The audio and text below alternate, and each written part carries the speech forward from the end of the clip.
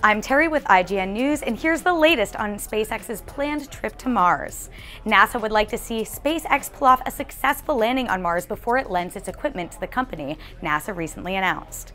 Speaking at the fall meeting of the American Geophysical Union, Jim Green, the head of NASA's Planetary Science Division, said, I want to wait this one out in reference to SpaceX's planned 2018 unmanned Red Dragon mission to Mars. Landing on Mars is hard, he said via space.com. But once SpaceX is successful, it'll be all systems go for a full NASA collaboration.